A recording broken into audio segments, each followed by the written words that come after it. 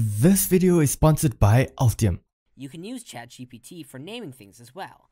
ChatGPT can be used for naming ideas. ChatGPT could be used for naming things. Let's say I have given a prompt to the ChatGPT that helps me come up with a name for a new dish score chicken, fish, and meat. And here was the response How about the trio platter? This name references the three different types of meat featured in the dish while also having a simple and straightforward connotation. So another option could be the Proteins Carnival, and third is Grill Master's Delight, and fourth is for the surf and turf and more, and another is the Carnivore's Dream. This is how you can get the names for different things as well. That could be about any cuisine or anything.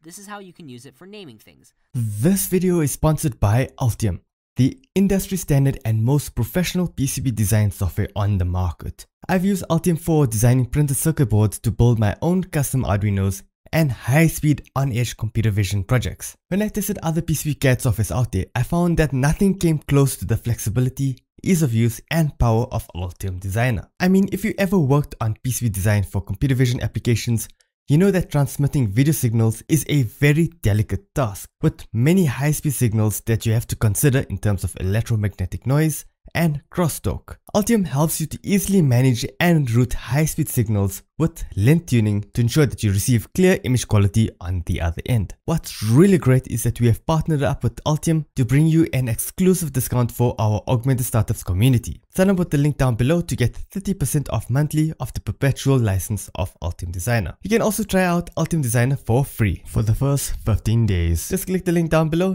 to get started. Let us move to our demo environment. Let me ask it.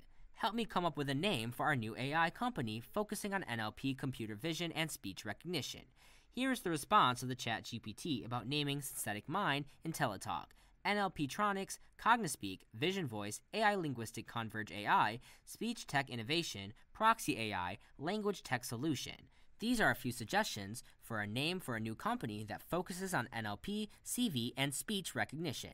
The name should be catchy and easy to remember and should give a hint of the company's focus on AI and specialization, in NLP's CV and speech recognition. Here you can get beautiful names for getting names for a new company as well.